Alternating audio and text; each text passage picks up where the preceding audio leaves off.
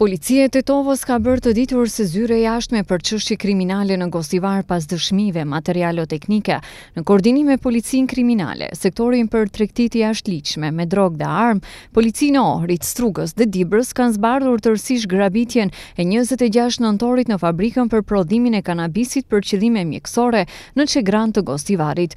Më njëzet e gjashtë dhe njëzet e shtatë dhjetor policia ka privuar nga liria pesë persona, kurse në Prokurorinë Publike janë dorëzuar kallëzime penale kundër NI. tridhjetë e nëntë vjeç nga Dibra, NR. njëzet e nëntë vjeç dhe GS. tridhjetë e gjashtë vjeç nga Struga dhe RB. tridhjetë e dy dhe GP. tetëmbëdhjetë vjeç nga Gostivari.